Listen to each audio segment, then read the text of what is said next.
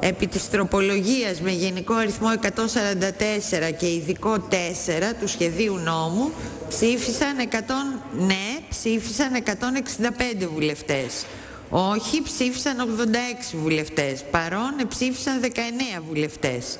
Συνεπώς, η τροπολογία με γενικό αριθμό 144 και ειδικό αριθμό 4 έχει δεχτεί ως έχει κατά πλειοψηφία.